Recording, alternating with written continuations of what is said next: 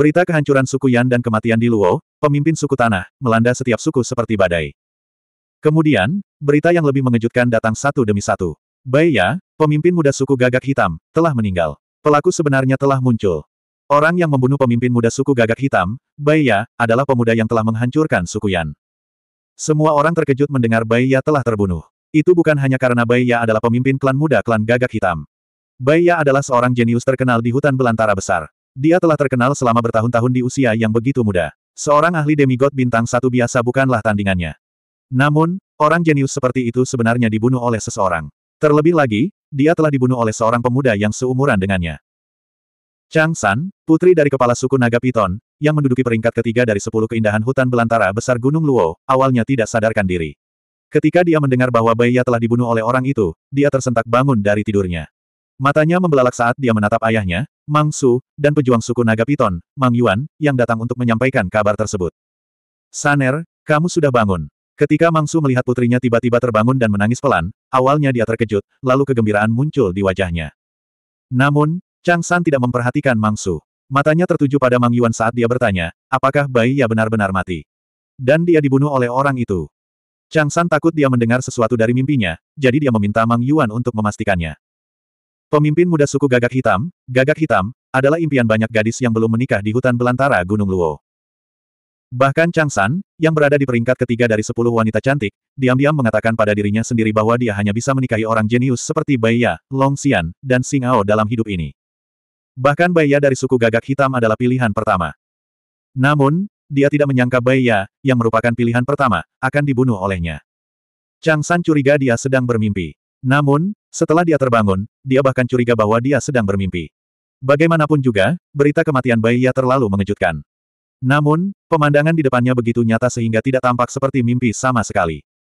Seharusnya tidak ada kesalahan. Setelah mendengar perkataan Chang San, Mang Yuan berkata, banyak orang mengatakan bahwa kematian White Fang pasti ada hubungannya dengan bulu hitam yang dikenakannya. Aduh, tidak lama setelah Mang Yuan selesai berbicara, Chang San tiba-tiba menjerit kesakitan. Ah, Saner, ada apa? Mendengar tangisan kesakitan putrinya, Mang Su terkejut. Duduk di bangku batu, sosoknya tiba-tiba muncul. Saat berikutnya, dia muncul di depan tempat tidur batu giok putih Chang San. Aku, aku baik-baik saja. Ayah, kamu tidak perlu khawatir. Chang San buru-buru mengangkat kepalanya dan berkata ketika dia melihat Mang Su bergegas mendekat dengan panik. Awalnya, Ketika mendengar perkataan Mang Yuan, dia curiga bahwa dia sedang bermimpi, jadi diam-diam dia mencubit pahanya. Namun, dia tidak menyangka kalau dia akan berteriak keras-keras karena dia mencubit terlalu keras. Itu bukan mimpi. Itu bukan mimpi. Dia, dia, dia benar-benar membunuh White Fang. Dia ternyata adalah pria yang seperti itu, orang yang dipilih oleh surga. Chang San merasakan hatinya menjadi gelisah sejenak. Dia sangat ingin bertemu dengannya saat ini.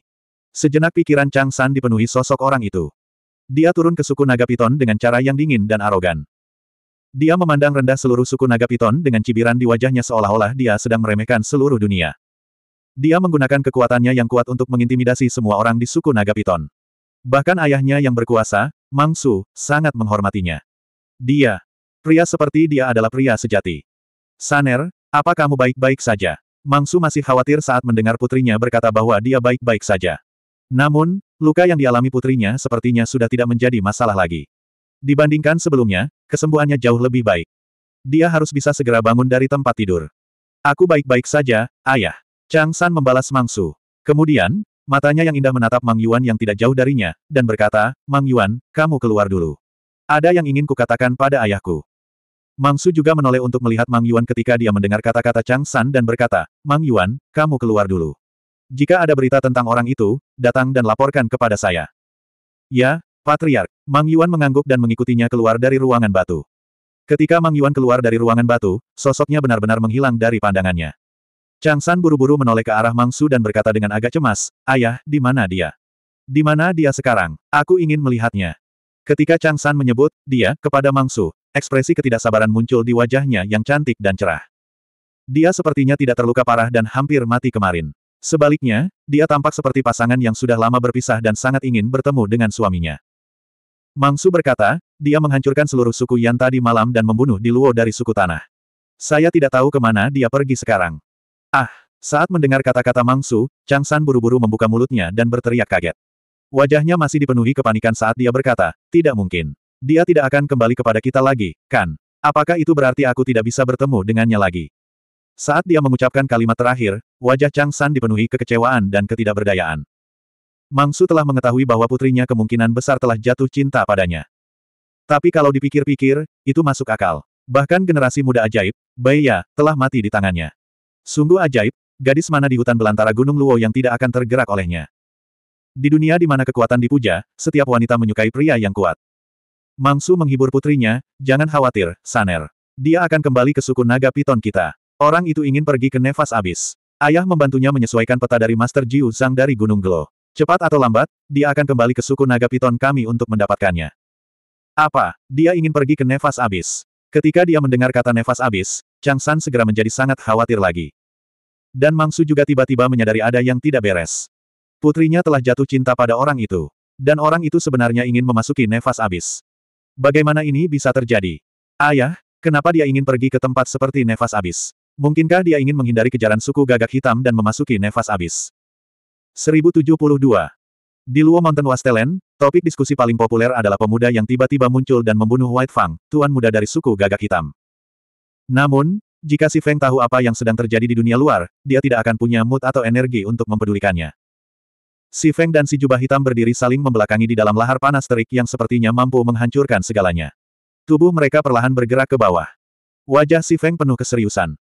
Seperti yang dikatakan si jubah hitam, wilayah seseorang tidak ada hubungannya dengan apakah seseorang dapat bertahan hidup di tempat yang disebut sarang setan berapi-api ini. Karena seni bela diri si Feng dan jubah hitam, kekuatan fisik, dan bahkan kekuatan jiwa si Feng telah ditekan oleh kekuatan misterius. Budidaya mereka hanya di alam marsial sage bintang satu. Setelah si Feng memasuki magma, dia menemukan bahwa di bawah pengaruh kekuatan misterius, tubuhnya hanya bisa menyelam ke bawah dan tidak bisa bergerak ke atas. Lava di atasnya tampak melonjak, tetapi ketika dia bergerak ke atas, lahar itu tampak mengeras dan menjadi sangat keras. Si Feng tidak bisa menghancurkannya sama sekali dengan kekuatan alam marsial sage. Melolong, melolong. Pada saat ini, lolongan binatang buas yang ganas terdengar di lahar. Segera, dengan si Feng dan The Black Robe sebagai pusatnya, monster lava muncul dari segala arah. Mereka ganas dan ganas, dan mereka menyerang si Feng dan si jubah hitam dengan ganas. Ada 22 monster lava, dan masing-masing memiliki aura yang sama dengan si Feng dan si jubah hitam. Mereka semua berada di alam marsial sage. Keduanya menghadapi 22 monster di alam yang sama pada waktu yang sama. Ini adalah gelombang monster ketiga yang si Feng dan si jubah hitam temui. Pada gelombang pertama, mereka bertemu tiga monster api di alam marsial sage. Di gelombang kedua, mereka bertemu 11 monster api di alam marsial sage. Sekarang, di gelombang ketiga, monster api semakin banyak. Si Feng dan si jubah hitam tahu bahwa jika mereka terus bergerak ke bawah, mereka akan bertemu monster yang semakin kuat. Ini adalah sarang iblis berapi-api, di mana tidak ada jalan untuk kembali. Tidak heran jika hanya sedikit prajurit yang memasuki tempat ini yang bisa keluar hidup-hidup. Tidak peduli seberapa tinggi ranah seseorang, jika dia tidak bisa menembus penindasan kekuatan misterius, dia hanya akan menjadi prajurit realem martial sage setelah memasuki tempat ini. Si Feng memegang pedang panjang yang haus darah di tangannya dan menebas monster api yang melaju ke arahnya. Segera, bayangan pedang putih muncul di magma. Penindasan kekuatan misterius itu cukup menyeluruh. Pedang haus darah yang telah berevolusi menjadi artefak setengah dewa bintang satu kini telah menjadi artefak Sein kelas 8. Di bawah bayangan pedang putih, dua monster api yang mendekati Si Feng ditelan oleh bayangan pedang putih. Tangan pria berjubah hitam itu ditutupi sepasang sarung tangan yang memancarkan cahaya perak. Saat dia melambaikan tangannya, bekas cakar perak terus-menerus muncul di tubuh binatang yang menyala-nyala itu. Kemudian, tiga dari binatang yang menyala itu terkoyak oleh bekas cakar pria berjubah hitam itu. Segera, 22 binatang api tingkat Sein telah sepenuhnya dimusnahkan oleh Si Feng dan pria berjubah hitam. Keduanya berhenti dan mulai menyerap energi dunia di magma, perlahan memulihkan energi mereka. Di tempat misterius dan berbahaya ini, mereka harus selalu berada dalam kondisi prima untuk menghadapi gelombang tantangan berikutnya. Menurutmu berapa banyak monster yang akan kita temui lain kali? Si Feng bertanya pada si jubah hitam. Mungkin lebih dari 30. Mungkin kita akan bertemu lebih dari monster api di alam martial sage di gelombang berikutnya, jawab si jubah hitam. Lalu dia bertanya pada si Feng, berapa batasmu? Jika mereka semua adalah monster api, seratus di antaranya tidak akan menjadi masalah, kata si Feng. Setelah itu, energi yang baru saja dia keluarkan telah pulih, dan dia telah kembali ke kondisi puncaknya. Dia berkata kepada pria berjubah hitam itu, ayo pergi. Setelah si Feng pulih ke kondisi puncaknya, dia merasakan bahwa si jubah hitam juga telah pulih ke kondisi puncaknya. Kemudian, keduanya masih saling membelakangi. Sekali lagi, mereka perlahan-lahan menyelam ke dalam lahar yang mendidih. Di kehampaan biru, sosok emas tiba-tiba muncul. Saat sosok emas itu muncul, sesosok tubuh melintas di sampingnya dan seorang wanita muda berpakaian hijau muncul. Keduanya adalah Gong Sun Taiyin, penguasa hutan belantara Luoshan, dan Guyan, gadis dari Gunung Gue. Keduanya muncul dalam kehampaan normal. Jelas sekali, mereka telah keluar dari relik primordial. Sementara berbagai suku di hutan belantara besar Luoshan masih mendiskusikan pemuda ini, sebuah berita yang lebih mengejutkan menyebar di hutan belantara besar Luoshan. Gong Sun Yuan, putra ketiga Gong Sun Taiyin, penguasa alam liar, telah meninggal. Berita ini sepenuhnya menutupi kematian Bai Ya dari klan gagak hitam. Segera, setiap suku menerima slip giok berwarna tulang dari Grand Wilderness City. Ada gambar di jade slip. Itu adalah orang yang diinginkan oleh penguasa kota Grand Wilderness, Gong Sun Taiyin. Orang inilah yang telah membunuh Gong Sun Yuan, putra ketiga keluarga Gong Sun. Ketika suku-suku di hutan belantara Luoshan melihat gambar di slip giok berwarna tulang, mereka bahkan lebih terkejut lagi. Seluruh hutan belantara Luoshan sedang gempar. Pemuda dalam gambar itu sebenarnya adalah dia. Dia telah memusnahkan seluruh suku Yan, membunuh Di Luo, pemimpin suku tanah, dan membunuh Bai Ya, pemimpin muda klan gagak hitam. Dan sekarang, bahkan putra ketiga Gong Sun Taiyin telah mati di tangannya. Ini, ini benar-benar menantang surga. Ini jelas merupakan orang yang kejam. Ia bahkan berani menyinggung keluarga Gong Sun dan membunuh putra ketiga keluarga Gong Sun. Apakah ada sesuatu yang tidak ingin dia lakukan? Di kamar batu suku naga Piton, Piton Su dan Chang San juga terkejut. Mereka tidak tahu harus berkata apa. Sepertinya dia tidak punya pilihan selain pergi ke Nefas Abis. Pantas saja dia ingin pergi ke Nefas Abis. Piton Su berseru saat menyadari. Dia bahkan telah membunuh putra ketiga keluarga Gongsun. Jika dia terus tinggal di hutan belantara Luoshan, cepat atau lambat dia akan dieksekusi. Dia dot dia benar-benar mampu melakukan apa saja. Chang San pun menghela nafas setelah mendengar kata-kata Mangsu, dia, dia benar-benar mampu melakukan apa saja. Mendesah. Dia benar-benar gila. Jika dia menghindari masalah dan tidak memprovokasi mereka yang tidak seharusnya terprovokasi dan perlahan-lahan menjadi lebih kuat, maka dengan bakatnya, cepat atau lambat dia akan mendapat tempat di Grand Desolate. Tapi dia. 1073. Di kamar batu suku naga Piton, Piton Su berbicara kepada putrinya, Chang San. Saner, memang benar dia mempunyai bakat yang tak tertandingi. Tapi kamu harus melupakannya selagi masih pagi. Meskipun ia memiliki bakat yang tak tertandingi, Piton Su merasa bahwa orang ini tidak memiliki rasa kesopanan sama sekali. Membunuh tuan muda suku gagak hitam, Baiya adalah satu hal, tapi kali ini, dia bahkan berani membunuh tuan muda ketiga dari keluarga Gongsun. Dia benar-benar pelanggar hukum, sombong, dan ceroboh. Orang sombong yang tidak memiliki rasa kesopanan dan hampir gila cepat atau lambat akan mati. Dalam sejarah benua hutan belantara luas, berapa banyak ajaiban ajaib yang jatuh saat mereka menjadi terkenal. Belum lagi dia. Mendesah. Chang San menghela nafas panjang setelah mendengar perkataan ayahnya. Wajah cantiknya dipenuhi penyesalan. Dia merasa kasihan pada dirinya sendiri, dan juga pada orang itu. Dia pernah berfantasi tentang pemandangan indah bersamanya. Sepertinya itu akan menjadi bunga di cermin, bulan di dalam air. Sayang sekali keajaiban seperti itu. Lupakan dia, Piton Su berbicara kepada putrinya lagi. Chang San sedikit enggan menghadapi ayahnya, tapi dia mengangguk tak berdaya dan berkata, saya mengerti, ayah. Bagus kalau kamu mengerti. Saner, dengan kecantikanmu, kamu bisa menemukan pria mana pun yang kamu inginkan. Di masa depan, pasti akan ada pria lebih baik yang akan datang ke suku naga piton kami untuk menikahimu. Kata ular piton Su. Melihat ayahnya masih menghiburnya, Chang San berkata, jangan khawatir, ayah. Saner adalah orang yang tahu kapan harus melepaskan. Saya juga percaya bahwa di masa depan, saya pasti akan menemukan pria yang lebih menonjol. Daripada dia. Aku senang kamu bisa mengatasinya. Mendengar perkataan Chang San, Mang Su menganggukkan kepalanya perlahan dan santai. Tapi kemudian, Piton Su melihat alis putrinya menyatu, dan sedikit rasa dingin muncul di wajahnya. Ayah, Chang San membuka mulutnya dan memanggil Piton Su. Apa yang salah? Piton Su bertanya dengan bingung. Chang San berkata dengan dingin, bukankah Tuan Kota Gongsun memerintahkan agar orang ini dicari dan mengatakan bahwa orang yang membunuhnya dapat memilih senjata tempur pesilat setengah dewa bintang dua atau keterampilan tempur pesilat setengah dewa bintang dua? Saner, maksudmu, Mangsu terkejut ketika mendengar kata-kata putrinya. Dia dengan cepat menggelengkan kepalanya dan berkata, Saner, ini tidak akan berhasil. Saya yakin Anda mengenal orang ini. Bukan saja dia sangat kuat, tapi dia juga sangat sulit untuk dihadapi. Selain itu, dia kejam dan tanpa ampun. Dia pasti akan membalas dendam. Malam itu, Yan Chi menyerangnya. Sekarang, seluruh klan Yan sudah tidak ada lagi. Jika dia bisa menghindari menyinggung orang itu, Mangsu tentu saja tidak ingin menyinggung perasaannya. Begitu orang ini marah, suku naga piton akan mengikuti jejak suku Yan. Ayah, ayah belum selesai mendengarkanku, kata Chang San. Dia telah disela oleh Mangsu sebelum dia bisa menyelesaikan kalimatnya. Oh, katakan padaku, Saner, kata Piton Su dengan ekspresi penasaran di wajahnya. Dengan kekuatan suku naga Piton kita, memang mustahil bagi kita untuk melawan orang ini. Tapi ayah, dalam surat perintah penangkapan Tuan Kota Gongsun, bukankah ada surat perintah lain? Siapa pun yang mengetahui keberadaan orang tersebut dapat melaporkannya. Jika laporan tersebut benar, Anda akan dihadiahi senjata tempur demigod bintang 1 atau keterampilan tempur demigod bintang 1. Kata Chang San. Saner, maksudmu, mata Mangsu yang sedikit tertutup perlahan melebar ketika dia mendengar kata-kata putrinya. Kesadaran berangsur-angsur muncul di wajahnya. Tangan kanannya tanpa sadar mengepal. Namun kemudian, wajah Mangsu perlahan menjadi khawatir lagi. Tetapi jika dia mengetahui bahwa kitalah yang memberitahu klan Gongsun, aku khawatir dia akan menaruh dendam terhadap kita. Ayah, mengapa ayah masih mengkhawatirkan hal ini? Chang San tersenyum dingin. Karena dia akan kembali ke suku naga piton kita untuk mengambil petanya cepat atau lambat, kita hanya perlu memberitahu Tuan Kota Gongsun tentang hal ini. Dia membunuh Tuan Muda ketiga klan Gongsun. Selama Tuan Kota Gongsun mengetahui hal ini, dia pasti akan mengambil tindakan. Jika Tuan Kota Gongsun sendiri yang bergerak, menurut Anda apakah dia akan selamat? Oh, itu benar. Kenapa aku tidak memikirkan hal ini sebelumnya? Mangsu menepuk pahanya saat mendengar kata-kata Chang San. Lalu, ekspresi kegembiraan muncul di wajahnya. Selama kita memberitahu klan Gongsun tentang hal ini, kita akan bisa mendapatkan senjata pesilat setengah dewa bintang satu.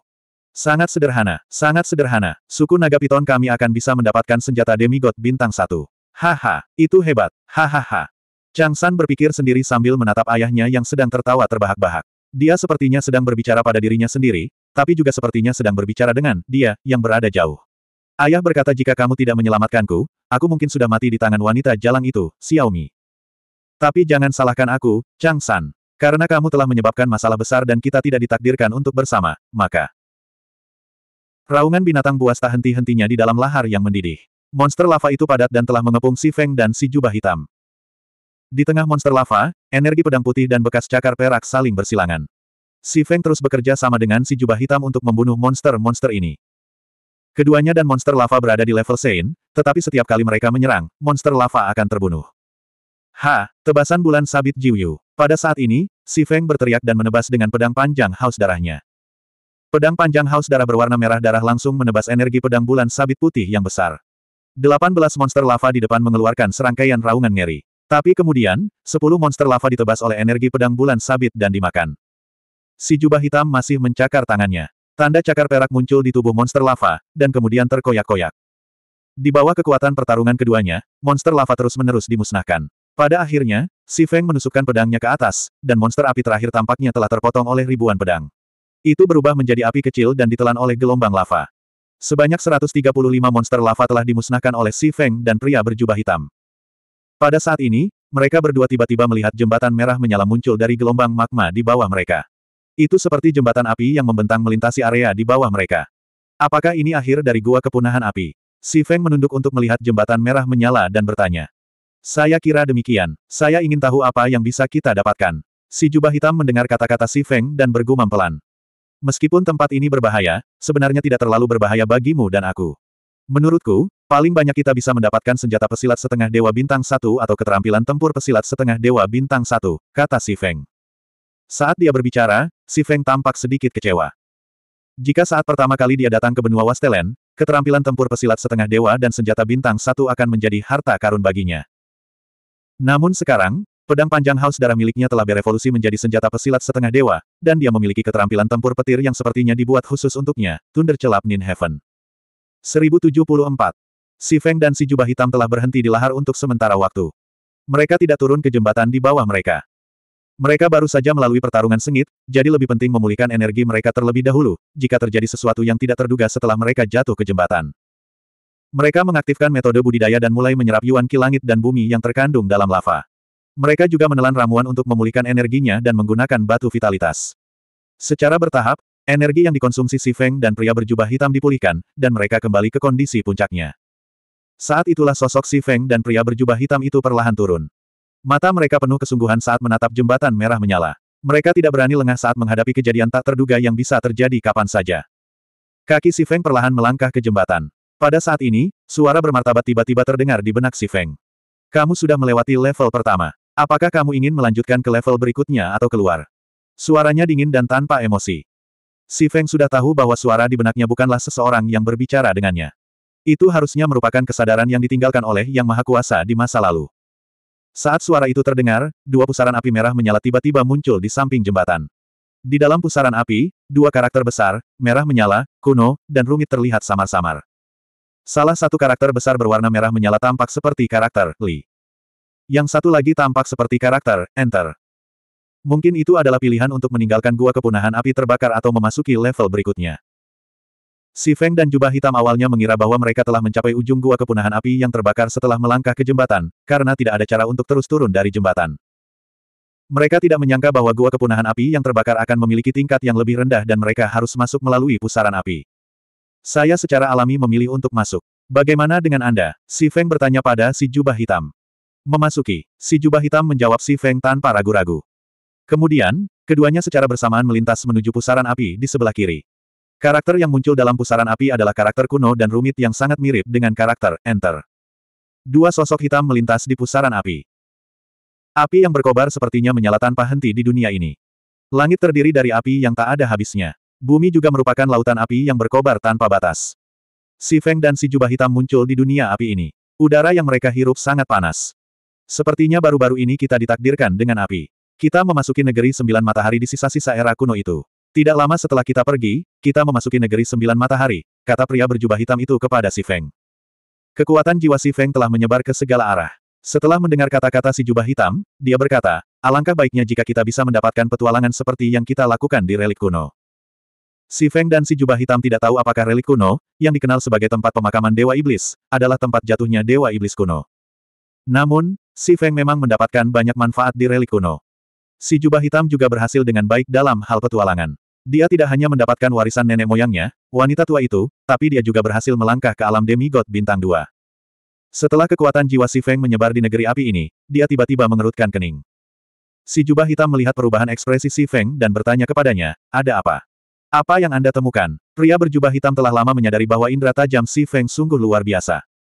Si Feng berkata, saya merasakan aura yang kuat di depan kami.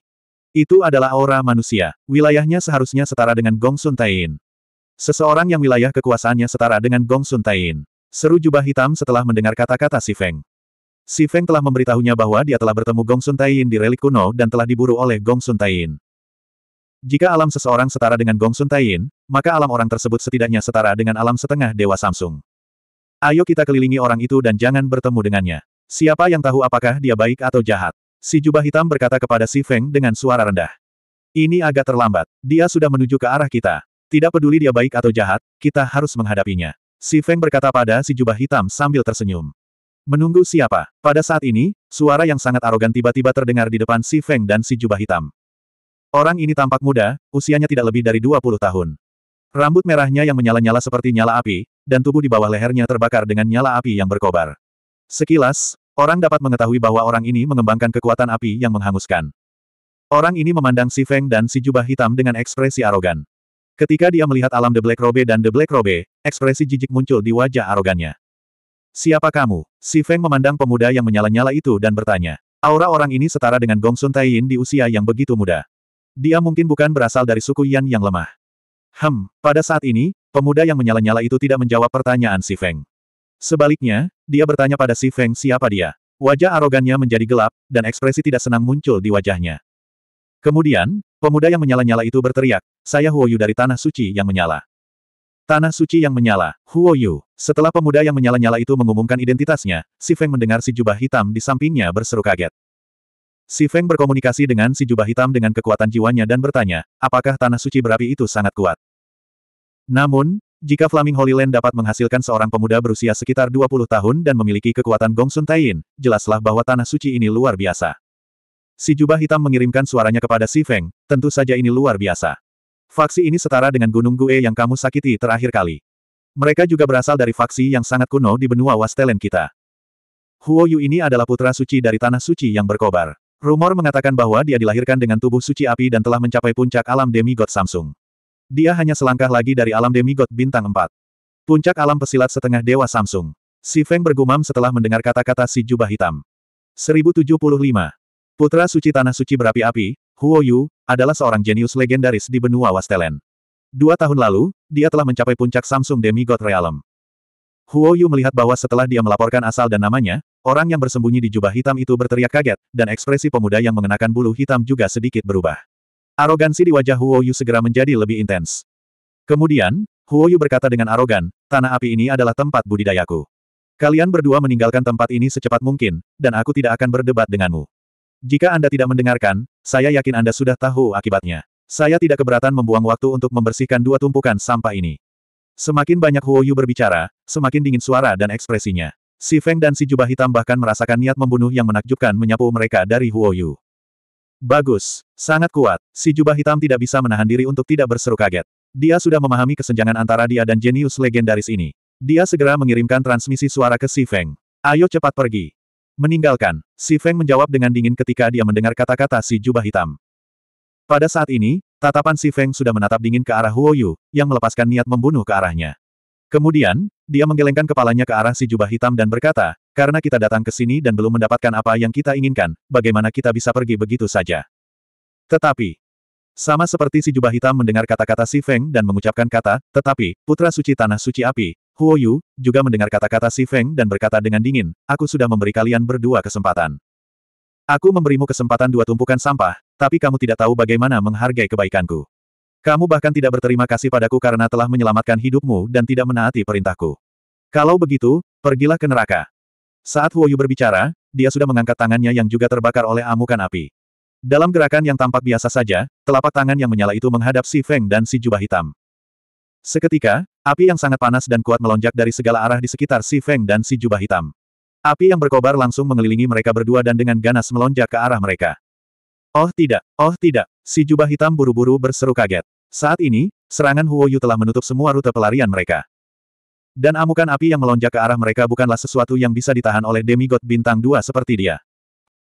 Ketika si Feng dan si jubah hitam memasuki gua tingkat kedua, mereka telah menemukan bahwa alam kekuatan misterius, mereka telah menyadari bahwa kekuatan misterius yang menekan mereka telah menghilang, dan alam budidaya mereka telah kembali. Tetapi bahkan jika dia kembali normal, dia benar-benar tidak berdaya melawan keinginan api yang kuat ini. Si Feng, kenapa kamu sangat tidak berterima kasih? Tidak ada jalan keluar, dan mereka hampir mati. Menghadapi situasi yang tidak dapat diselesaikan ini, si jubah hitam mulai menyalahkan si Feng. Huo Yu awalnya ingin mereka pergi, tetapi si Feng mengatakan bahwa dia tidak ingin pergi, dan Huo Yu telah mendengarnya. Dapat dikatakan bahwa dia telah melibatkan si Feng. Hah, pada saat ini, si Feng mendengus teredam. Melihat Huo Yu ingin mengambil nyawanya segera setelah dia menyerang, wajahnya menjadi dingin dan dipenuhi niat membunuh. Dia ingin membunuh putra suci tanah suci api itu, Huo Yu. Pada saat ini, hati si Feng bergerak, dan cahaya merah darah besar tiba-tiba bersinar di sampingnya. Mengaum, mengaum, mengaum, mengaum. Setelah itu, gelombang demi gelombang raungan marah yang terdengar seperti binatang buas bergema. Dalam sekejap, hamparan langit dan bumi ini diselimuti oleh nyala api merah, badai pasir kuning menyapu, badai es biru bersiul, dan kilat ungu mengamuk. Segera setelah empat energi kekerasan dan kuat ini muncul, amukan api yang melonjak ke arah Si Feng dan pria berjubah hitam dari segala arah langsung dimusnahkan dan berubah menjadi abu. Pada saat ini, Cahaya besar berwarna merah darah telah turun, dan seekor ular berkepala empat berwarna merah, kuning, biru, dan ungu memperlihatkan tubuh besarnya. Keempat kepala ular bertanduk panjang itu dipenuhi keganasan dan kedengkian. Matanya melotot dengan marah, dan mulutnya terbuka lebar sambil terus-menerus mengaum. Ini, ini, melihat ular berkepala empat yang tiba-tiba muncul di sampingnya, si jubah hitam merasa sangat familiar. Yang lebih mengejutkannya adalah ular ini memancarkan aura yang sangat kuat. Begitu muncul, itu benar-benar menghancurkan energi api Huo Yu. Ini berarti ular berkepala empat ini berada pada level yang sama dengan Huo Yu, putra suci dari tanah suci berapi-api. Ini ular kuning. Itu adalah binatang spiritual penjaga dari suku naga piton. Si jubah hitam akhirnya mengenali ular kuning itu dan berseru kaget. Dia tidak tahu bagaimana si Feng melakukannya. Ia justru menggabungkan ular kuning ini dengan tiga ular lainnya. Dia tidak tahu dari mana asal ketiga ular besar ini. Tidak heran, tidak heran orang ini begitu tak kenal takut saat melihat Huo Yu. Dia sebenarnya memiliki hewan peliharaan spiritual yang sangat kuat. Begitu empat klon dari delapan Li Divine Snake muncul, sosok Si Feng melintas. Ketika dia muncul kembali, dia sudah berdiri dengan bangga di atas kepala ular kuning itu, menyipitkan mata ke arah Huo Yu. Ketika Huo Yu, putra suci dari tanah suci berapi-api, melihat ular berkepala empat itu telah menghancurkan serangannya dalam sekejap, dia pertama kali terkejut. Kemudian, ekspresi gembira muncul di wajahnya saat dia tersenyum dan berkata, Bagus, tidak buruk. Ular berkepala empat ini sebenarnya adalah ular setengah dewa bintang tiga. Menundukkan ular ini dan menjadikannya hewan peliharaan rohku memang layak menyandang statusku. Kemudian, mata Huo Yu bergerak ke atas dan menatap Si Feng, yang berada di atas ular kuning itu. Ketika dia bertemu dengan mata Si Feng, Huo Yu tiba-tiba merasa sangat dingin dan kedinginan, seolah matanya akan dibekukan oleh tatapan orang ini. Perasaan ini membuat Huo Yu merasa sangat tidak nyaman. Huo Yu mengerutkan kening dan berkata kepada Si Feng, serahkan hewan peliharaan spiritualmu, dan putra suci ini akan mengampuni nyawamu. Nada bicara Huo Yu sangat mendominasi. Dia sama sekali tidak bernegosiasi dengan Si Feng. Sebaliknya, dia memberi perintah pada Si Feng. Bagaimana jika Ben Sao mengatakan tidak? Si Feng menjawab dengan dingin kepada Huo Yu. Tidak, Huo Yu mencibir ketika dia mendengar Si Feng berkata, tidak. Bahkan jika kamu mengandalkan hewan peliharaan spiritual demigod Samsung ini dan untungnya selamat dari tangan putra suci hari ini, kamu masih akan diburu oleh putra suciku. Namun, di masa depan, Anda akan diburu tanpa henti oleh tanah suci api berapi-api. Tidak akan ada tempat bagimu di seluruh benua Wastelen. Keluargamu, teman-temanmu, dan siapa pun yang berhubungan denganmu akan dibunuh oleh tempat suci berapi-api karenamu. Dengan raksasa seperti Fury Secret Ground, Huo Yu memang bisa membuat seseorang atau seluruh kekuatan tidak memiliki tempat di seluruh benua Wastelen.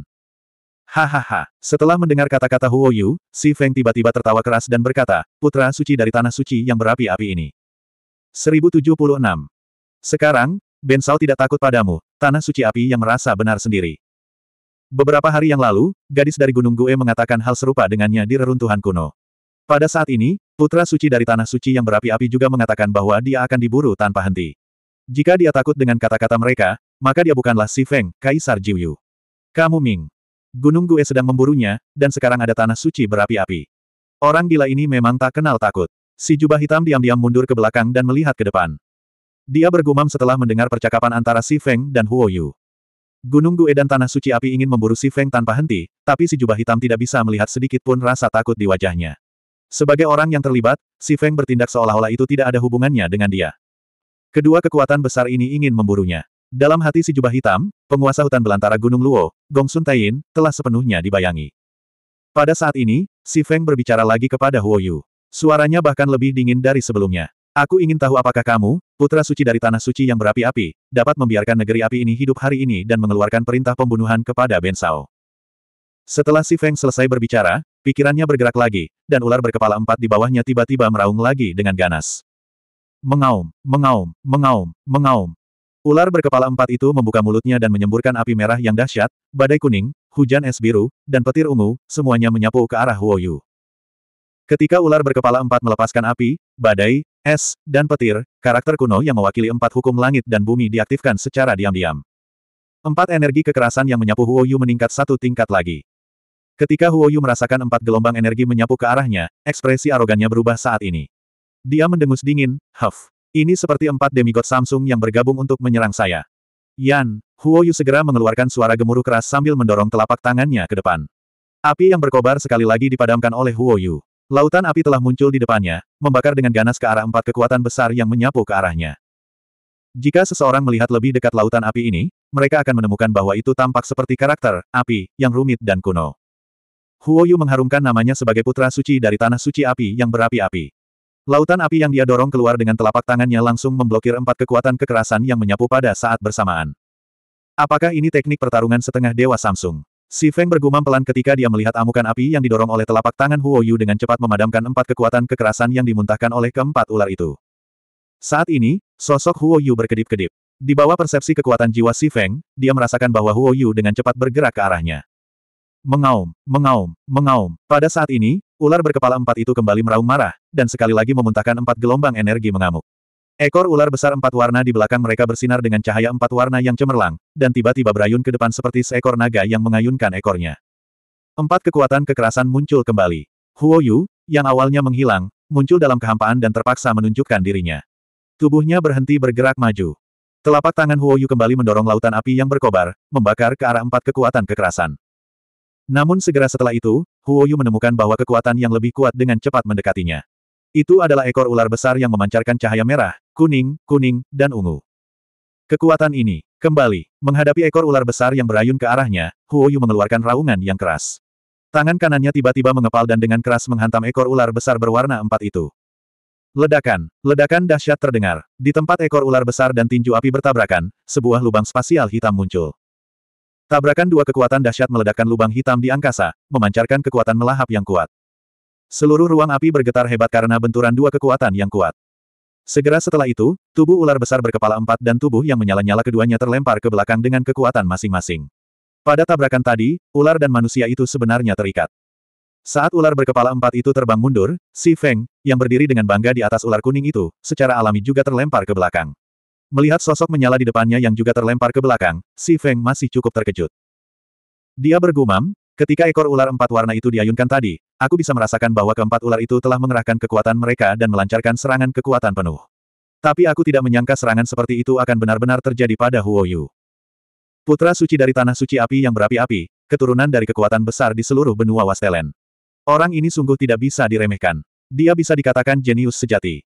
Sementara si Feng masih sok, binatang roh api yang terbang mundur juga memperlihatkan ekspresi keheranan. Dia tidak pernah berpikir bahwa binatang roh ini benar-benar mampu melawannya hingga terhenti setelah menggunakan kekuatan penuhnya. Binatang jahat ini, ini sebenarnya dapat menempatkan empat kekuatan. Binatang jahat ini sungguh luar biasa. Saya harus menundukkannya hari ini. Huo Yu berpikir dalam hati. Tubuhnya yang terbang mundur tiba-tiba berhenti pada saat ini. Di belakang ular berkepala empat itu, diam-diam pria berjubah hitam itu terkejut saat melihat ular berkepala empat itu terbang ke arahnya. Dia dengan cepat menghindar ke samping untuk menghindari tubuh besar yang terbang ke arahnya. Dia berkata dalam hatinya, itu benar. Dia berpikir dalam hati, ular kuning ini awalnya adalah binatang spiritual penjaga klan naga piton. Ia hanyalah binatang spiritual setengah dewa bintang satu. Tapi sekarang, dia tidak menyangka ular berkepala empat itu akan memiliki kekuatan untuk melawan Huo Yu. Baru saja, Huo Yu mengatakan bahwa ular berkepala empat ini adalah binatang spiritual alam demigod bintang tiga. Jika itu masalahnya, maka Huo Yu masih berada di alam demigod bintang tiga. Benar saja, menjadi alam demigod bintang empat tidaklah mudah. Di gurun Gunung Luo, hanya ada selusin orang yang telah menjadi dewa bintang dua. Di antara para dewa Samsung, hanya ada satu Gong Sun Taiyin. Namun setelah menjadi manusia setengah dewa, sangat sulit untuk membuat terobosan lebih lanjut. Belum lagi menjadi dewa bintang empat dari Samsung. Meskipun dia adalah putra suci dari tanah suci api yang berapi-api dan memiliki konstitusi ilahi api. Pada saat ini, sosok Huo Yu melintas lagi dan bergegas menuju ular berkepala empat. Ular berkepala empat di bawah Si Feng sudah berhenti terbang. Ekor ular empat warna di belakangnya sekali lagi meledak dengan pancaran empat warna. 1077. Ledakan, ledakan, ledakan, ledakan. Ekor ular berkepala empat, yang bersinar dengan empat warna, bertabrakan dengan serangan Huo Yu. Di negeri api ini, suara ledakan terus terdengar, dan getaran hebat terus terjadi. Di belakang ular berkepala empat, si jubah hitam telah menjauhkan diri dari medan perang yang penuh kekerasan untuk menghindari keterlibatan. Pertarungan antara para demigod Samsung bukan lagi sesuatu yang bisa diganggu oleh demigod bintang dua seperti dia. Mengaum, ekor ular berkepala empat itu terus-menerus berayun dengan keras sambil mengaum dengan ganas. Keempat mulutnya terus terbuka, menyemburkan api, badai pasir, hujan es, dan kilat. Putra suci tanah suci api, Huo Yu, terus-menerus melepaskan api dahsyat dari tubuhnya untuk membakar energi yang menyapu ke arahnya. Pukulan keras Huo Yu bertabrakan dengan keras dengan ekor ular yang bersinar dengan empat warna. Satu binatang dan satu manusia, semakin sering mereka bertarung, mereka jadinya semakin ganas. Sulit untuk menentukan pemenangnya. Huh, tidak apa-apa jika ini terus berlanjut. Keempat klon ular ilahi tampaknya memiliki energi yang tak ada habisnya di tubuh mereka. Energi Huo Yu cepat habis. Jika ini terus berlanjut, cepat atau lambat dia akan kelelahan sampai mati. Si Feng mendengus dingin saat dia merasakan keadaan ular berkepala empat dan Huo Yu. Ini adalah pertama kalinya dia mengandalkan ular itu untuk bertarung, dan dia menyadari betapa ajaibnya ular itu. Energi yang dikonsumsi ular berkepala empat dengan cepat terisi kembali. Jika ini terus berlanjut, energinya tidak akan pernah habis. Bagaimana ini bisa terjadi? Binatang jahat ini, Huo Yu yang sedang melawan ular itu juga memperhatikan keadaan ular berkepala empat itu. Dia terus-menerus menggunakan keterampilan tempur demigod Samsung, dan setiap kali dia menggunakannya, energinya akan sangat terkuras. Namun, ular berkepala empat itu masih dalam kondisi puncaknya. Brengsek, makhluk keji apa ini? Sebenarnya ada makhluk aneh di dunia ini. Huo Yu berkata dengan penuh kebencian saat keinginannya untuk menaklukkan ular berkepala empat itu semakin kuat. Namun, jika dia terus bertarung seperti ini, dia tidak hanya tidak akan mampu menaklukkan binatang jahat itu, tetapi energinya juga akan terkuras, dan dia akan dibunuh oleh binatang itu. Brengsek, brengsek, brengsek, brengsek. Saat ini, Huo Yu sangat berharap dia bisa membunuh orang yang berdiri dengan bangga di atas kepala ular kuning itu. Dia akan meledakkannya sampai mati dan kemudian mengambil hewan peliharaan spiritual itu untuk dirinya sendiri. Untuk sementara waktu, semakin banyak Huo Yu bertarung, dia menjadi semakin kejam. Ha, pada saat ini, Huo Yu tiba-tiba mengeluarkan suara gemuruh yang keras. Telapak tangannya sekali lagi didorong ke arah ekor ular empat warna.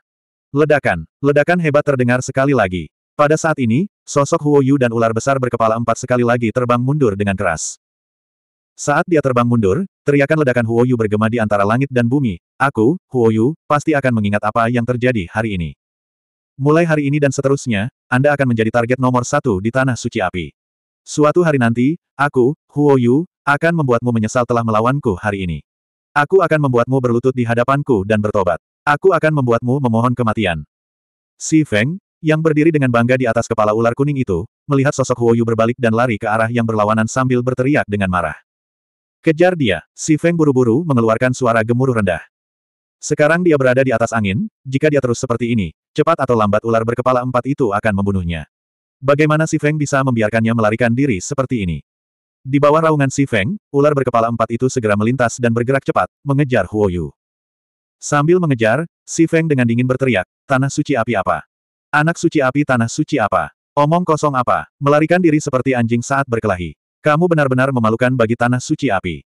Mendengar kata-kata si Feng, Huo Yu yang berada di depan menunjukkan ekspresi garang dan berteriak dengan keras, kamu. Mendengar raungan dingin Huo Yu, si Feng berkata, ada apa dengan Ben Sao? Jika Anda tidak tahan dengan kata-kata Ben Sao, berhentilah dan bertarunglah dengan Ben Sao. Jangan lari seperti anjing dan mempermalukan tanah suci api. Jika kamu memiliki kemampuan, bertarunglah denganku dengan kemampuanmu sendiri. Huo Yu, yang melarikan diri, berteriak keras setelah mendengar kata-kata si Feng. Huff, si Feng, yang berdiri dengan bangga di atas ular berkepala empat, mendengus dengan jijik setelah mendengar kata-kata Huo Yu. Si Feng berkata, kamu hanya seekor anjing. Kamu bahkan tidak bisa mengalahkan hewan peliharaan spiritual Ben Sao. Hak apa yang kamu miliki untuk bertarung dengan Ben Sao? Mengapa Ben Sao merendahkan dirinya untuk bertarung dengan anjing sepertimu? Lelucon yang luar biasa. Beraninya kamu mengatakan itu. Mendengar kata-kata si Feng lagi, wajah Huo Yu memerah karena marah. Dia mengangkat kepalanya dan berteriak, Ah, Anda, dia benar-benar tidak sabar untuk mencabik-cabik orang yang tidak tahu malu itu. Jika bukan karena binatang itu, dia pasti sudah mencabik-cabik orang yang tidak tahu malu itu. Si jubah hitam memandang ke arah Huo Yu, yang sedang melarikan diri, dan Si Feng, yang berdiri dengan bangga di atas ular berkepala empat itu. Dia tidak tahu harus berkata apa untuk sesaat. Ketika dia pertama kali bertemu dengannya, dia bahkan belum mencapai alam demigod. Ketika dia mencapai alam pesilat setengah dewa, dia menarik perhatian semua orang, petir hitam.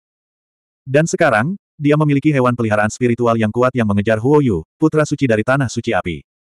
Mengejar Huo Yu adalah sesuatu yang tidak berani dipikirkan oleh siapa pun di seluruh benua Wastelen. Tapi orang ini sedang melakukan hal gila saat ini. Segala sesuatu yang terjadi pada orang ini selalu luar biasa. Mungkin sudah ditakdirkan bahwa pemuda dari benua lain ini ditakdirkan untuk menjadi luar biasa. Si jubah hitam melihat ke depan dan memikirkan hal ini. Pada saat ini, sosoknya bersinar dan dia dengan cepat bergerak maju untuk mengejar Huo Yu. Tanah suci api apa? Menurut Ben Sao, itu seharusnya disebut tanah suci pelarian. Bahkan putra suci adalah seekor anjing yang hanya tahu cara melarikan diri, apalagi yang lain. Si Feng masih berdiri dengan bangga di atas ular berkepala empat dan terus mengejar Huo Yu. Dia tidak berhenti berbicara. Si Feng sengaja mengucapkan kata-kata ini untuk memprovokasi Huo Yu, berharap dia akan kehilangan akal sehatnya dan berhenti berjuang untuk hidupnya. Dengan cara ini, dia bisa menggunakan ular berkepala empat untuk menghabiskan energi Huo Yu dan kemudian menyiksanya sampai mati. Huo Yu sangat marah. Dia, yang berstatus bangsawan, tidak pernah mengalami penghinaan seperti itu. Tapi dia tetap rasional. Dia tahu bahwa jika dia terus bertarung dengan ular berkepala empat itu, pada akhirnya dialah yang akan kalah. Di dunia api yang berkobar ini, pengejaran dan pelarian tanpa henti terus berlanjut. Sosok Huo Yu bergerak cepat. Meskipun dia tidak mengonsumsi energi sebanyak yang dia lakukan selama pertempuran, dia masih terus kehilangan energi. Sedangkan untuk ular berkepala empat, setelah mengkonsumsi energi, ia akan segera pulih. Saat ia terus mengejar, ular berkepala empat itu semakin dekat dengan Huo Yu. 1078. Ledakan, ledakan, ledakan, ledakan. Ekor ular berkepala empat, yang bersinar dengan empat warna, bertabrakan dengan serangan Huo Yu.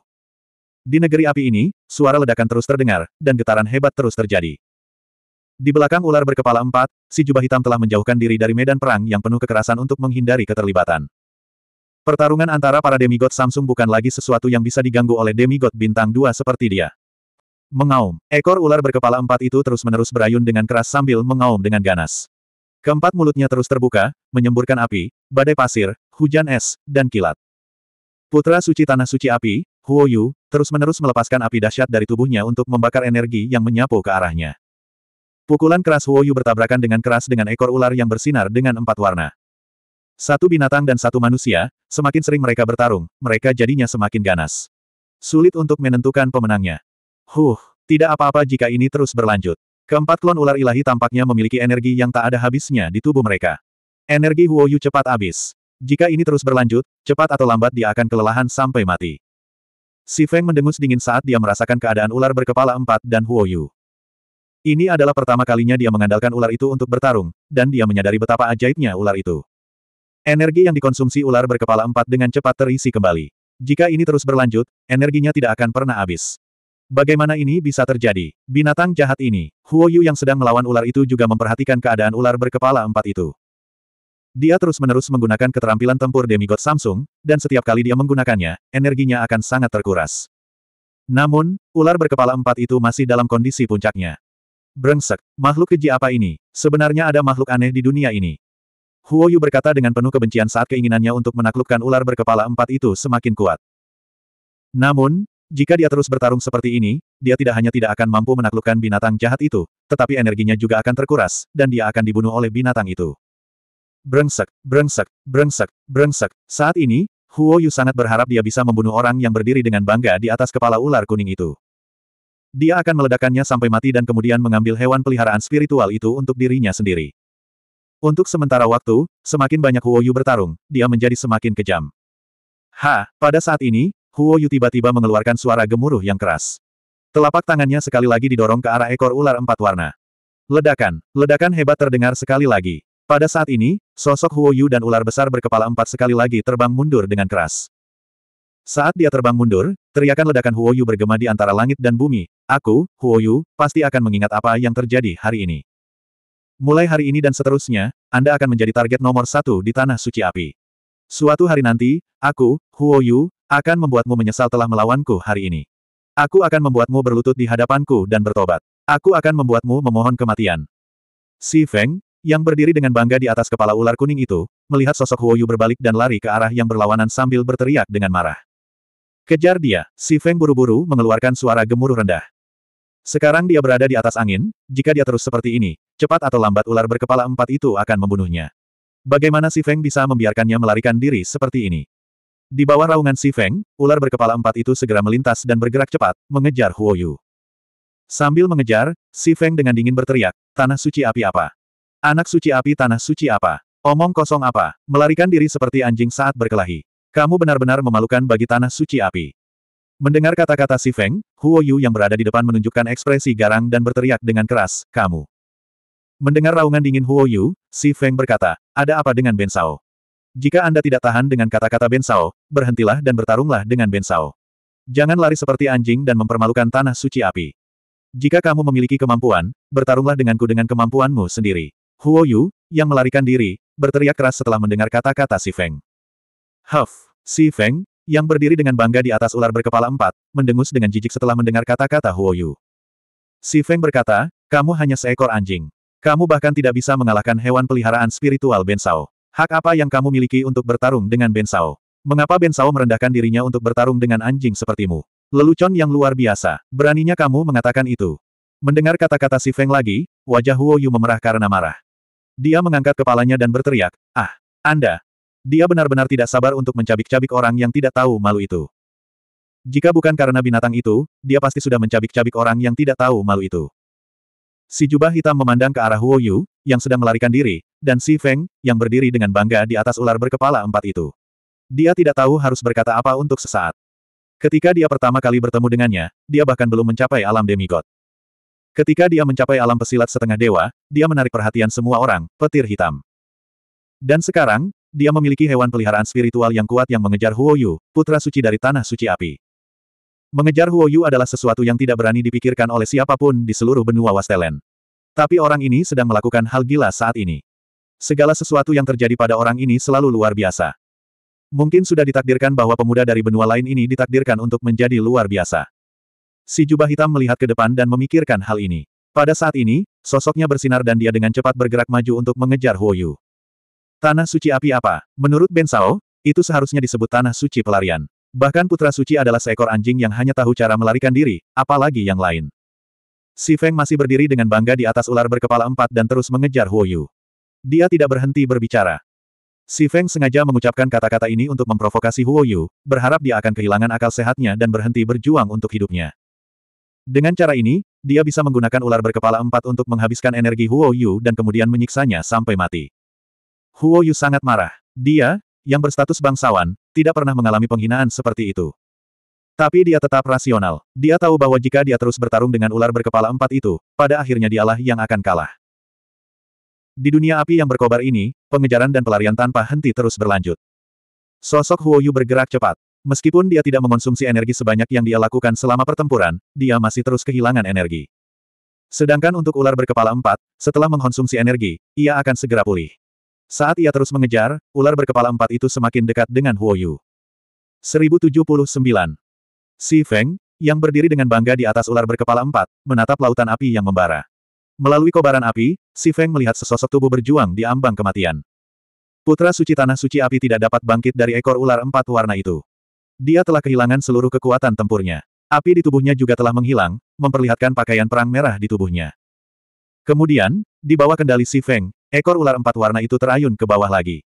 Seperti seekor naga yang mengayunkan ekornya, ia memasuki lautan api dan mencambuknya lagi. Ah! Huo Yu menjerit kesakitan lagi. Tubuhnya langsung terlempar ke udara oleh ekor ular empat warna itu. Huo Yu terbang ke atas ular berkepala empat itu. Pa, tubuhnya terjatuh dengan keras di atas kepala ular kuning itu dan jatuh di samping kaki Si Feng. Si Feng mengangkat kaki kanannya dan menginjak wajah kanan Huo Yu. Dia kemudian mendengus dengan nada menghina. Huff, ini adalah putra suci dari tanah suci api, Huo Yu. Tubuh ilahi api apa? Di depan Ben Sao, dia bahkan tidak sebanding dengan anjing mati. Pada saat ini, sosok hitam muncul di samping si Feng. Jubah hitam muncul. Begitu orang berjubah hitam itu tiba, dia kebetulan melihat adegan si Feng menginjak wajah Huo Yu dan mengejeknya. Jubah hitam tidak mengatakan apa pun. Dia menundukkan kepalanya dan menatap Huo Yu, yang berada di bawah kaki si Feng, dan menghela nafas dalam hatinya. Putra suci tanah suci api, dia mungkin tidak pernah berpikir bahwa dia akan mengalami hari seperti itu. Bunuh aku. Jika kamu ingin membunuh, bunuh aku. Setelah membunuhku, penduduk tanah suci api tidak akan membiarkanmu pergi. Anda akan mati dengan lebih menyedihkan. Huo Yu meronta dan meraung dengan wajah galak. Dia telah mengatakan bahwa tanah suci api telah menggunakan teknik rahasia padanya. Selama dia mati, pemandangan di sini akan dikirim kembali ke tanah suci api. Jika pangeran suci dari tanah suci api meninggal, itu akan menjadi masalah besar di tanah suci api. Kemungkinan besar mereka akan melakukan segala yang mereka bisa untuk memburu si Feng. Jangan bunuh dia, kata si jubah hitam pada si Feng. Setelah mendengar kata-kata si jubah hitam, si Feng sedikit mengangguk dan menjawab dengan lembut, ya. Namun, si Feng tidak khawatir tentang pengejaran tanpa akhir dari tanah suci api. Saat ini dia sudah berada di puncak demigod bintang satu. Dia masih perlu memahami cara bela diri sebelum dia bisa menerobos. Karena dia telah mencapai puncak demigod bintang satu, energi dalam dantiannya telah mencapai kesempurnaan. Jika dia membunuh Huo Yu, energi kematian pasti akan terbuang sia-sia. Menyia-nyiakan kekuatan kematian seorang dewa puncak dari Samsung adalah hal yang sangat boros dan boros untuk dilakukan. Huff, membunuh. Kamu sebaiknya membunuhku. Huo Yu mendengar percakapan antara si jubah hitam dan si Feng. Dia mengira mereka takut diburu oleh tanah suci api dan tidak berani menyerangnya. Dia mendengus dingin. Hem, ketika si Feng mendengar bahwa Huo Yu, yang dia injak, benar-benar mengucapkan kata-kata dingin itu berulang kali, dia mengeluarkan suara, hem, yang lembut. Ketidaksenangan muncul di wajahnya. Setelah itu, Si Feng meningkatkan kekuatan kaki kanannya yang menginjak wajah Huo Yu. Dia berkata dengan dingin kepada Huo Yu, kamu hanya seorang tawanan rendahan sekarang. Seorang tawanan harus memiliki kesadaran sebagai seorang tawanan. Anda tidak punya hak untuk berbicara. Ah, Huo Yu merasa kekuatan di wajahnya meningkat, dan penghinaan terhadapnya meningkat. Dia segera mengeluarkan suara gemuruh yang keras. Bunuh aku, bajingan, bunuh aku jika kamu punya nyali. Silakan bunuh aku. Mendengar raungan Huo Yu lagi, Si Feng menggerakkan kakinya dan langsung menutup mulut Huo Yu dengan telapak kakinya. Berisik sekali. Ya ya, ya ya ya ya ya. Mulut Huo Yu tersumbat, tapi dia masih meronta dan mengeluarkan suara, ya, ya, ya, ya, ya. Si jubah hitam melihat situasi saat ini dan mengetahui bahwa kebencian antara orang ini, Huo Yu, dan tanah suci api-api benar-benar tidak dapat didamaikan. Pada saat ini, si jubah hitam berbicara. Dia menunjuk ke arah Huo Yu dan bertanya pada Si Feng, bagaimana rencanamu menghadapinya? Aku tidak ingin membunuhnya untuk saat ini. Biarkan dia menjadi budakku dulu. Si Feng terus menunduk dan menatap Huo Yu. Pada saat ini, kekuatan jiwa Si Feng beredar, dan jejak jiwa yang tak terlihat tercetak pada Huo Yu. Dunia seni bela diri Huo Yu berada di alam demigod Samsung. Dia juga berasal dari kekuatan kuno dan kuat di benua Wastelen. Si Feng khawatir bahwa jejak yang dia cetak pada Huo Yu akan dihancurkan dengan cara misterius yang tidak dia ketahui. Malam itu, Ketika Si Feng masih berada di alam Kaisar Bintang Sembilan, dia meninggalkan jejak di tubuh gadis muda dari klan Naga Piton, Xiaomi. Namun, ketika Xiaomi kembali ke klan Naga Piton, jejaknya telah hancur. Di suku Naga Piton, alam tertinggi adalah kepala Mangsu, yang kekuatan fisiknya telah mencapai alam demigod bintang satu. Dengan pelajaran sebelumnya, kali ini Si Feng mencetak jejak jiwa misterius pada jiwa Huo Yu. Meskipun dunia seni bela diri Huo Yu berada di alam demigod Samsung, Si Feng dapat merasakan bahwa dia tidak pernah mengembangkan jiwanya. Meskipun kekuatan jiwanya telah mencapai alam leluhur pangkat ke-6, itu bukan karena dia telah mengembangkan kekuatan jiwanya. Itu karena tubuh fisik dan jiwanya menjadi lebih kuat seiring dengan semakin kuatnya seni bela dirinya. Ah, Si Feng menggunakan kekuatan jiwanya untuk menanamkan jejak jiwa pada jiwa Huo Yu. Pada saat ini, kekuatan Huo Yu telah habis dan dia terluka parah. Dia tidak bisa menahan serangan jiwa Si Feng yang kuat. Huo Yu merasakan kepalanya bergetar seolah-olah dia terkena palu yang berat. Kontrak tuan pelayan antara dia dan Si Feng berhasil diselesaikan. Setelah kontrak tuan pelayan selesai, Si Feng perlahan mengangkat kakinya yang menginjak wajah Huo Yu. Saat ini, Huo Yu kembali sadar. Dia menatap Si Feng dengan mata terbuka lebar dan berteriak dengan marah, kamu. Anda, Anda, Anda, apa yang kamu lakukan padaku? Huff, kamu sekarang adalah budak Ben Sao. Kenapa kamu masih tidak menghargainya? Mendengar teriakan marah dan kekasaran Huo Yu, Si Feng mendengus tidak senang dan menendang Huo Yu. Ah! Huo Yu menjerit kesakitan lagi. Seluruh tubuhnya ditendang oleh Si Feng. Lalu, Si Feng memikirkan sesuatu. Ah! Huo Yu meraung dengan suara yang jauh lebih melengking dari sebelumnya. Tubuh Huo Yu, yang telah ditendang oleh Si Feng, digantung di udara.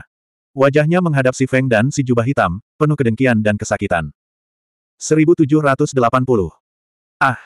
Gelombang raungan yang sangat menyakitkan dan menyedihkan terus bergema di negeri api ini. Si Feng menatap dingin ke arah Huo Yu, yang melayang di udara, seolah dia tidak berniat menghentikan penyiksaannya. Si Feng ingin memberitahu dia siapa tuannya mulai sekarang. Jika dia tidak menderita sedikit pun, dia mungkin tidak akan mendapat pelajaran. Si Feng tidak peduli dengan identitas dan statusnya sebelumnya. Dia hanya ingin Huo Yu tahu kepada siapa dia setia mulai sekarang. Ah, bunuh aku. Aku mohon, bunuh saja aku. Huo Yu, yang menderita kesakitan jiwanya, meminta Si Feng untuk memberinya kematian. Bisa dibayangkan betapa menyakitkan penyiksaannya. Hah! Mendengar kata-kata Huo Yu, Si Feng mendengus dingin dan berkata, jika Ben Sao ingin kamu mati di masa depan, dia secara alami akan membunuhmu. Tapi kalau mau mati tanpa izin Ben Sao, huff. Setelah Si Feng mengerang lagi, raungan yang lebih menyedihkan dan menyakitkan keluar dari mulut Huo Yu. Si jubah hitam, yang berada di samping Si Feng, merasakan jantungnya berdebar ketika mendengar raungan Huo Yu. Huo Yu ini, penyiksaan macam apa yang dia alami saat ini? Orang ini sungguh kejam. Setiap menit dan detik penyiksaan yang menyakitkan tak tertahankan bagi Huo Yu. Namun bagi Si Feng, yang menyiksa Huo Yu, waktu berlalu sangat cepat. Pada saat ini, Si Feng telah tersiksa oleh nyala api yang merobek jiwanya selama dua jam penuh.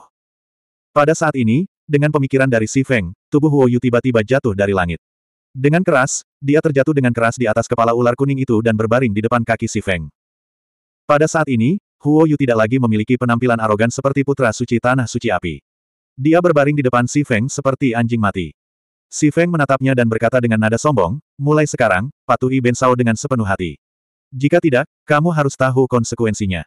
Anda harus pulih dulu. Saat cedera dan kekuatan Anda pulih, Ben Sao akan menanyakan beberapa pertanyaan. Alasan mengapa Si Feng ingin bertanya tentang Huo Yu secara alami terkait dengan negeri api ini. Sejak Si Feng dan pria berjubah hitam memasuki lapisan kedua gua kepunahan Inferno, mereka menemukan bahwa tidak ada makhluk hidup lain di lapisan kedua kecuali langit, tanah, lautan api yang menyala-nyala, dan Huo. Yu yang mengembangkan kekuatan api. Mereka tidak menemui bahaya lainnya. Itu sungguh aneh, jadi Si Feng ingin bertanya pada Huo Yu nanti. Dia seharusnya tinggal di negara api selama beberapa waktu, jadi dia harus mengetahui beberapa hal. Setelah Si Feng berbicara dengan Huo Yu, dia tidak lagi memperhatikan putra suci tanah api suci yang seperti anjing mati. Dia memandang pria berjubah hitam itu dan berkata, saya akan memasuki ruang senjata mendalam untuk memahami jalan bela diri. Maukah Anda mengikuti saya? Huo Yu masih memerlukan waktu untuk pulih, jadi si Feng ingin menggunakan waktu ini untuk memahaminya dengan bantuan pohon api. Aku akan pergi bersamamu, kata si jubah hitam. Bagus, si Feng mengangguk. Kemudian, lampu besar berwarna merah darah tiba-tiba bersinar. Ketika lampu merah darah jatuh, ular besar berkepala empat dan orang-orang di atasnya telah menghilang sepenuhnya. Hanya sebuah tablet batu kecil berwarna merah darah yang tersisa, diam-diam mengambang di kehampaan tanah api. Dalam kehampaan yang tak terbatas, ada sebidang tanah yang mengambang dengan tenang. Di darat, ada sebatang pohon menyala yang menyala-nyala seperti nyala api yang berkobar, memancarkan energi dan aura api yang membara. Pada saat ini, cahaya besar berwarna merah darah bersinar tidak jauh dari pohon yang terbakar. Ular berkepala empat, Si Feng, si jubah hitam, dan Huo Yu, yang terbaring di tanah seperti anjing mati, muncul. Sosok si Feng dan si jubah hitam melintas pada saat yang sama menuju pohon yang terbakar. Mereka ingin bercocok tanam dengan bantuan kekuatan pembakaran dari pohon yang terbakar. Benua Tianheng, wilayah timur, kerajaan kabut langit. Saat senja, sosok berbaju putih berdiri dengan bangga di gedung tertinggi di kota Kekaisaran Kabut Langit, Istana Kekaisaran. Orang ini berpakaian putih, dengan kain putih dengan santai mengikat rambut hitam panjangnya seperti air terjun. Dia berpakaian seperti laki-laki, tapi dia memiliki kecantikan yang tiada taraf. Dia adalah wanita tercantik nomor satu di wilayah timur, Putri Linglong dari Kerajaan Kabut Langit. Jin Mo. Langit dan bumi diwarnai merah oleh cahaya matahari terbenam. Bahkan wajah cantiknya pun benar-benar merah, memberinya kecantikan yang berbeda. Jin Mo memandangi daratan di kejauhan. Untuk sesaat, wajah cantiknya tenggelam dalam pikirannya. Sejak hari kepergiannya, dia akan mencapai titik tertinggi di kota Kekaisaran Kabut Langit saat senja setiap hari dan melihat ke utara. Dia memberitahunya bahwa dia pergi ke wilayah utara. Dia berada di ujung utara. Anda, apakah kamu baik-baik saja? Si cantik bergumam pelan dengan bibir merahnya. Dia sepertinya berbicara pada dirinya sendiri, tetapi sebenarnya dia sedang berbicara dengannya di kejauhan. Kamu, apa yang kamu lakukan sekarang? Cuacanya dingin, kamu harus berhati-hati dan memakai lebih banyak pakaian.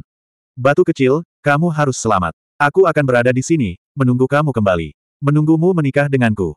Mengaum, raungan harimau terdengar tidak jauh di belakangnya. Itu adalah harimau putih yang ditinggalkan si Feng di sini, putih kecil. Di samping Little White berdiri sosok yang tinggi dan perkasa. Itu adalah raja dari kerajaan kabut langit, Lan Yuan. Melihat sosok putih cantik di depannya, Lan Yuan menghela nafas dalam-dalam. Sudah setahun. Sudah hampir setahun sejak dia meninggalkan Sky Mist Empire. Selama tahun ini, dia tidak pernah berhenti memikirkannya. Lan Yuan awalnya berpikir bahwa waktu akan melemahkan segalanya, dan perasaannya terhadapnya perlahan-lahan akan memudar. Namun, dia tidak menyangka perasaannya terhadapnya akan semakin kuat dari hari ke hari. Gadis bodoh ini, mendesah. Sepertinya kamu tidak akan menikah dengan orang lain seumur hidup ini. Si Feng, jika kamu tidak kembali, aku khawatir gadis ini akan jatuh sakit karena merindukanmu. Jika gadis ini terus berdiri di sini setiap hari, aku khawatir dia akan menjadi suami menatap batu. Situ kecil, bisakah kamu mendengar apa yang aku katakan? Batu kecil. Di ruang tablet batu berwarna darah, Si Feng, yang sedang duduk bersila di bawah pohon api, tiba-tiba mendengar suara manis memanggilnya. Setelah mendengar suara manis ini, Si Feng langsung merasakan kesadarannya menjadi sangat jelas. Pemahamannya tentang jalan bela diri, yang awalnya kabur, tiba-tiba menjadi sangat jelas. Hem, si jubah hitam, yang juga duduk bersila tidak jauh dari Si Feng, melihat keadaan di mana Si Feng berada dan langsung berseru, perasaan ini. Itu dia, dia akan menerobos. Si jubah hitam tidak akan lupa bahwa terakhir kali dia menerobos tidak lama setelah dia memasuki pemakaman Dewa Iblis, ketika guntur hitam penghancur iblis yang legendaris jatuh dari langit. Tapi sudah berapa lama, dia akan menerobos lagi. Ini, ini terlalu tidak normal.